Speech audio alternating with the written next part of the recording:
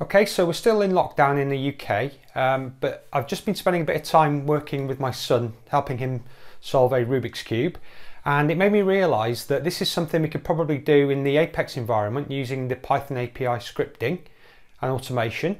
Uh, so I've just developed something really quickly, pulling in some Python libraries to do this, and just wanted to highlight the type of thing you can do with CAD and FEA data to improve the process and speed up the efficiency of your, your workflow. Okay, so if this is something that you're interested in, then drop me a line and we'll get you sorted out ASAP.